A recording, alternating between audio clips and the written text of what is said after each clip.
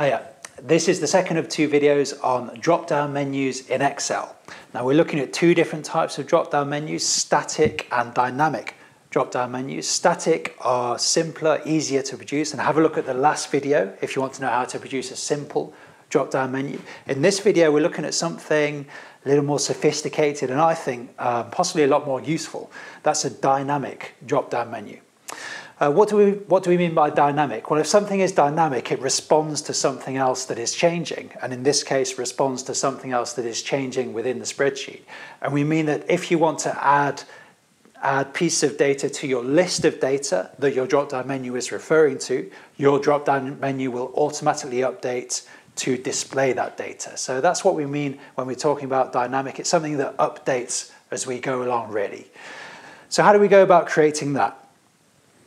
Let's have a look at the practice file. As always, you can find our practice files uh, on our website and we encourage you uh, to practice along with us. Excel is a skill. Uh, we have to practice it in order to, uh, to get good at it. So let's have a look at what we mean by a dynamic drop-down menu. I've got a drop-down menu here. Uh, looks pretty, pretty normal. Uh, it's got 10 items of data in. It's pointing, pointing at this data here. So I'm going to just add another item of data uh, at the bottom. And this drop-down menu, because it's dynamic, it's able to display data that you add to the list. If you had a normal uh, static drop-down menu, just a simple one, um, the drop-down menu wouldn't get longer as you add additional data to the list. And as you can see, this, this drop-down drop menu is getting longer. So that's called uh, we can call it dynamic because it does that. It's a really nice feature, really good way to impress your colleagues maybe. So this video is about how we do that.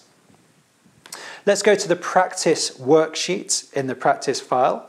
We're going to work with these two cells here. The first thing we have to do uh, when, we when we create a dynamic drop-down menu is to use a count formula. The count formula is going to help Excel to understand how, how long uh, how many rows are in that drop-down menu. So let's first implement a count formula. The formula we're going to use is count A. Count A looks at a range and then tells you how many cells in that range have some kind of information in. Could be a number, uh, could be a text-based data, um, how many cells in a range have information in. So count A, then we go to the first cell in our list, to the bottom of, to the, bottom of the list, and then we keep going down because we want the formula to look in uh, uh, to look at the rows below the list. Because as we as we expand the list as we make it longer we want the formula to be able to understand that. So we keep going down. I've gone all the way down to the bottom. Hit enter. So the count formula is returning a value of 10 that's because there's 10 cells in the range that it's looking at that contain data I'm going to put another piece of data at the bottom. As you can see, the count formula has updated. So that's good. That's the first step. Use a count A formula to count how many, how many cells in the range have data in. That's the first step. The next step is to go to the cell where you want the drop-down menu to drop-down menu to drop-down menu to appear, and that's here in cell D23. So we're going to go to the data validation box, data validation, and this brings up our data validation uh, dialog box.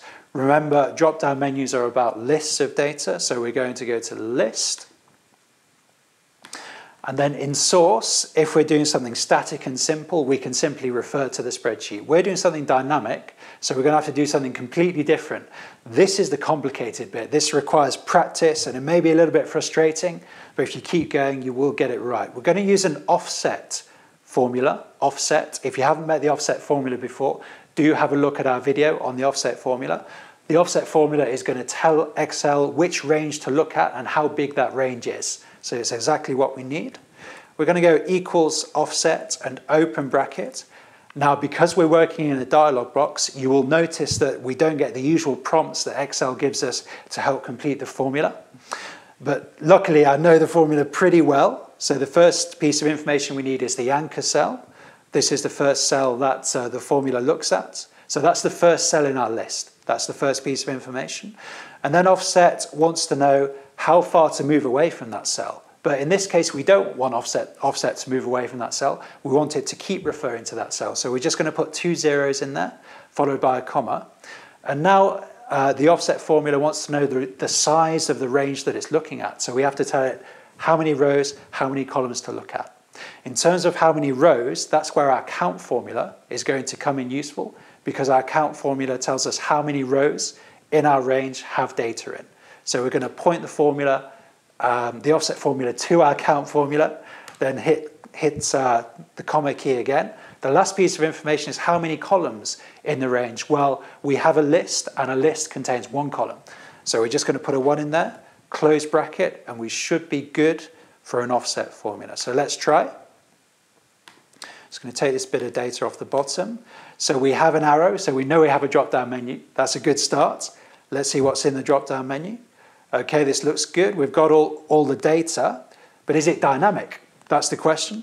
So I'm going to put some more data down here, person 11, person 12. You'll see that the count formula has updated. So hopefully the count formula would have updated the, the offset formula that our data validation works off and that gives us the list. So this should, should say 12 in, and it does. Okay, seems to be working well. You see how it's working dynamically. Now I'm going to um, take this down to five people, and we should have five people in our list, which we do. Okay, so as you can see, uh, that's working dynamically. And if we think about it, that's going to save us a huge amount of time. It's so much better than having to add data to a list and then having to go to the data validation box every time to adjust the list. That's going to take a lot of time.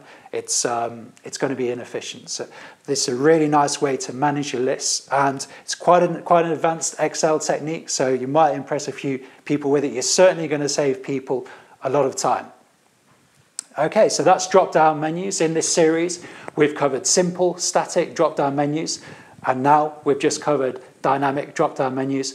Really help, uh, I really hope that they help embellish your spreadsheets, make them look good, and that, that they save you and your customers or your colleagues a lot of time. Good luck.